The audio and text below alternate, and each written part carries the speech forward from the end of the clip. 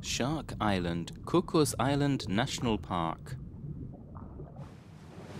Cocos Island is 550 kilometers off the coast of Costa Rica in the Atlantic Ocean.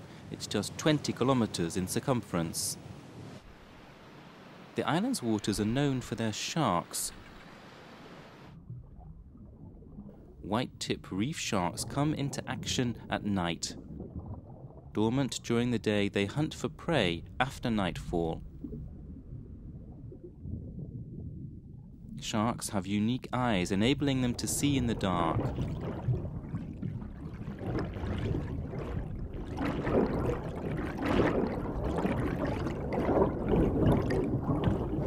Located in the middle of the ocean, seawater full of nutrition flows onto the island's shores.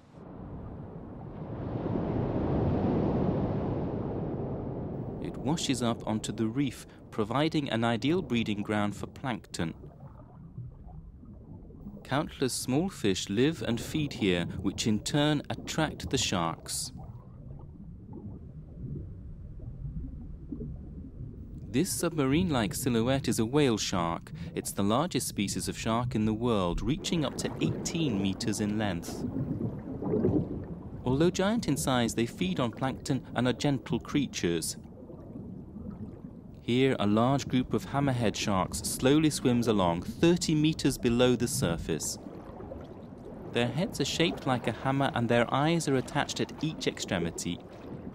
The shark is thought to have evolved the shape to increase its field of vision for hunting.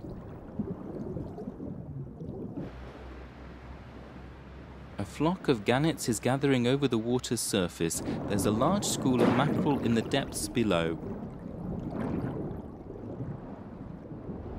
The fish are grouped near the surface as the sharks close in. Yellowfin tuna join the sharks and begin eating the mackerel. A small group of mackerel begin to follow and swarm around a single shark. The mackerel are now protected from the yellowfin tuna by the shark. Caught in a predicament, the mackerel have protected themselves by entering closer to enemy territory. So much about sharks still remains a mystery. The drama that unfolds here around the solitary island of Cocos provides one of the keys in revealing their secrets.